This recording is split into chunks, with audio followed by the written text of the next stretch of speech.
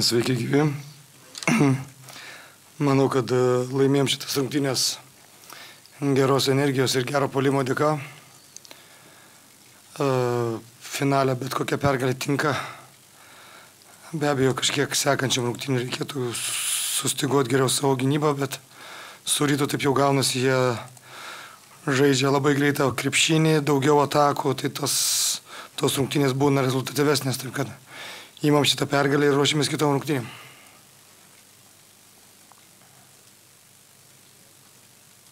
Lūžis įvyko trečiame kilnyje, kaip galite paaiškinti, ką geriausiai darė jūsų komanda?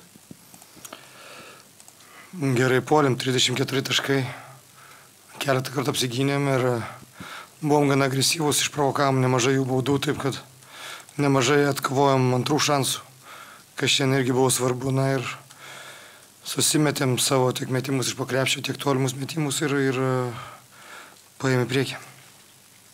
Arnas Butkevičius sužaidė rezultatyviausias rungtynės žalgyryje, kaip jam tai pavyko? Na, jis turėjo nedidelę traumelę, kurią gavo su kidainiais. Dėl to su Lietkabiliu net e, nežaidė vienu rungtyniu, kitose tik įsibėgėjo. Ir e, jau paskutinėse serijos rungtynėse buvo tas Arnas, kurį pratė matyti. Ir, na, Arnas yra, turi patirties, jis yra tokių rungtynių žaidėjas ir šiandien ta jo patirtis, jo energija mums labai pravertė. Jūsų oponentas Gedrius Žibėnas kalbėjo apie tai, kad a, finalas rytui dar neprasidėjo, daugiausia turėdamas omeny, kad buvo smarkiai pralaimėta kova dėl, dėl kamolių. A, kaip jūs paaiškintumėte ir kiek esate patenkintas savo, savo vyrų kovingumu šį vakarą? Na, kovingumas geras, tai, tai rodo ir mūsų atkovoti kamoliai polime. Ir, ir gera energija, bet kaip ir minėjau, tai laimėjom šitas rungtynės tik tai polimo dėka, tai gynyba galėtų būti geresnė. A, taškus pelnė visi žaidėjai, kurie buvo aikštėje išskyrus Lelevičių. Svarbu pirmosios serijos rungtynės tai panaudoti visą rotaciją.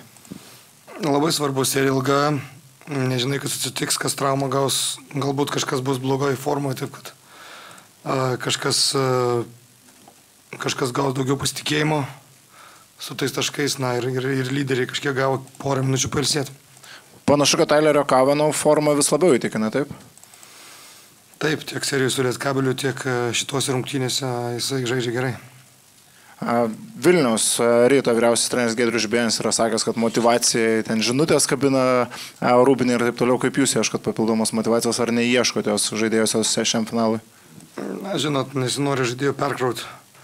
Be abejo, dabar yra finalai, bet kai jau visą sezoną 80 kelis kartus sakai, kad čia svarbu, čia svarbu, čia svarbu, tai labai sunku yra tą išlaikyti. Tai labai šiek tiek apribojam informaciją ir paliekam tokią pagrindinę ir manau, kad, kad taktika yra svarbu, bet labiau yra svarbu uh, motivacija ir, ir, ir žaidėjų galvos.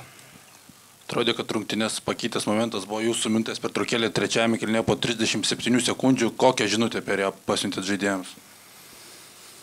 Na, abiejose pusėse buvo tiek, tiek pasyvus polimas, a, nepadarėm to, ko norėjom gynyboj, buvom pasyvus, leidom mest 2-3 taškius, taip kad paėmęs minutę gal ir įsigandau, gal per anksti išnaudojau tai mato, bet tai, tai manau, kad buvo geras veika apkolas. Šiandien vėl Tomas Dimša grįžo prie žaidėjo pozicijos, daugiau čia toks buvo žaidimo planas ar Aizė Tayloro žaidimas netenkino? Kažkiek bandėm daryti keitimą ginamaisiais, ten Dimša yra geresnis šiek tiek. Ir jis neblogai šiandien įėjo, kiek atsimenu, prie jo, prie jo buvo geriausias pliusas minusas. Taip kad, taip kad jisai įėjo gerai, tai ir laikė. Kalbėjote gynybą, apie gynybą, kad reikia pagerinti, čia turbūt su Markusu Fosteriu irgi nemažai susiję, neblogai su juo pradėti, bet vėliau jisai prisižaidė, įsižaidė neblogai, kas nepavyko su jo gynyboje. Na, Fosteris mes vis tiek apie 10 taškų, jisai daug metimų atlieka. Tai visų pirma, gavom tokius, sakyčiau, kelius lengvus prasiveržimus, tiek transition, tiek, tiek paprastam polime, vis tiek reikėtų šiek tiek daugiau pagalbos ir daugiau intensyvumo, kai jis turi kamolį. Taip kad svarbu mes laimėjom. Sezono metu esate nekartą minėjęs, kad jums nėra paranku žaisti prieš tas nesisteminės komandas, ar rytą galima įdėti į šią grafą? Na, jeigu liečia jų, jų žaidimo tempą, jų, uh, jų greitį, turbūt taip. Nežinau, kaip jums rungtynių metu, bet mums statistikos protokolai buvo užlūžę, keitėsi kažkiek trenerių darbas. Na, dirbom senais metodais, žiūrėjom, žaidėjas paraudęs ar nepavargęs kaip jo komanda prie jo gerai žaidėsi, minučių visi nematėm. Baudas, jeigu žinom, tai, tai žaistų minučių reikėjo skaičiuoti. Virginijus Šeškus po pusinalio serijos rytų sakė, kad Vilniuje Jeep arenoje žaisti buvo beprotiškai sunku, kaip ruošėtės tai atmosferai ir žaidimai na visiškai kitokioje erdvėje nei Žalgirio arena. Na, lyginant Lietuvos e, krepšinį, ten nebloga atmosfera, bet manau, kad esam buvę triukšmingesnėse. Makabi, Partizanas Vesda. Taip, kad viskas daugiau priklauso, kaip mes žaisim ir kaip, kiek duosim rytui. Nėra ką per daug šnekėt, e, paprasčiausiai viens prieš vieną šiandien neapsigynėm, e, o tada, kada reikėjo kamuolius nusimti, mus tiesiog apstumė, pastumė ir pasiemė kamuolį 19 tų antrų šansų. Mes žinom, kad Žalgiris iš tų antrų šansų gyvena visą sezoną, jie įtraukia įtraukia publiką ir, ir, ir dėl to tas laužė rungtynės po rungtynių, tai šiandien to nepadarė, mūsų kažko tai labai daug e, varžovas nenustebino, bet nustebino mane patys mūsiškiai, kad kažkoks vienas sunkesnis momentas buvo ir, ir, ir nepatiko man labai tas vadinamas body language. Tai vienintelis būdas pakeisti pakeisti serijos tą tiekmę, tai yra pradėti mėgautis gynybą ir, ir biški išdidžiau kautis dėl tų 50-50 kamolių.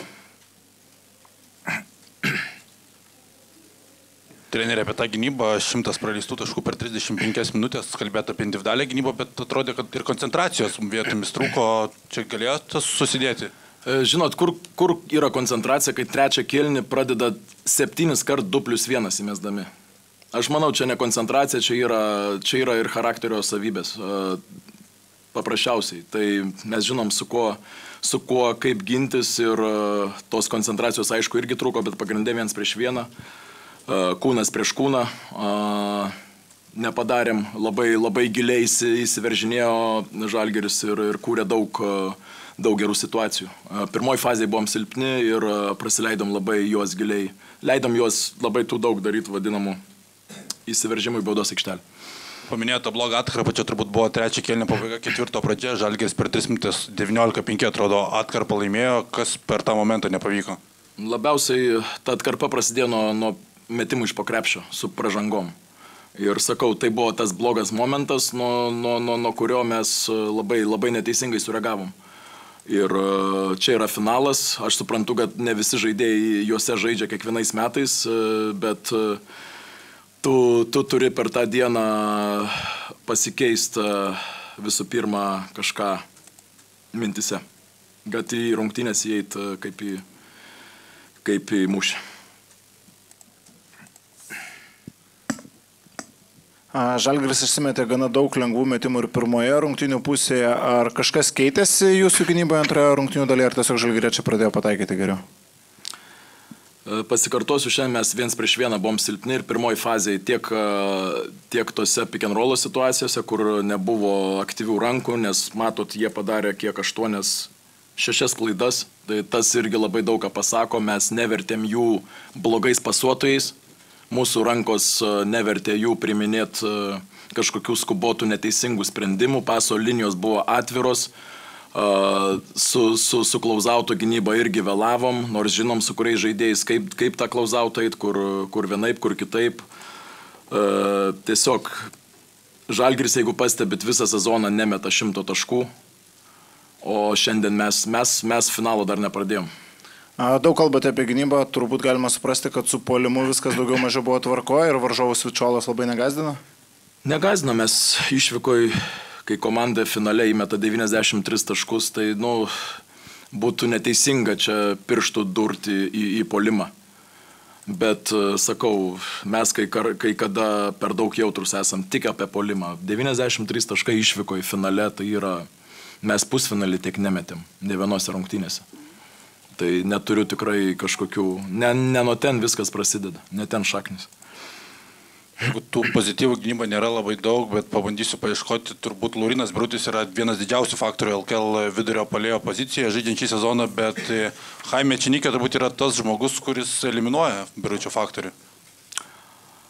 Gal ir buvo keli, keli stopai, bet, žinot, e, reikia eilės tų stopų.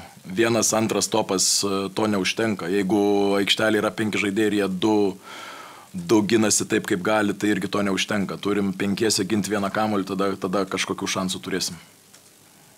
Šiandien gynybai žaidėm po vieną, aš tą noriu pasakyti.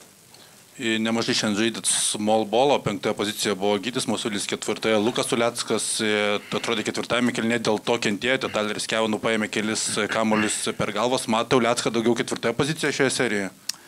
E, ilga serija gali būti ir turim reaguoti po kiekvienų rungtynių, o tai, kad mums kamelius nusiema, tai yra kažkur galbūt ir mūsų naivumas, mes žinom, kad yra mismečiai, kad, jeigu mes keičiamės, bus sunkiau atsitvert, bet Jeigu aš esu gynėjas, aš neįsiu atsikovot kamulio, aš darysiu viską, kad mano žmogus ne, prie, prieš mane neatsikovotų. Jeigu tai prireikia pra, pražangos, prašau, darykit pražangą, bet ne taip, kad pasiema tau, pastumė šiek tiek, pasiema kamulio ir įmeta du su bauda.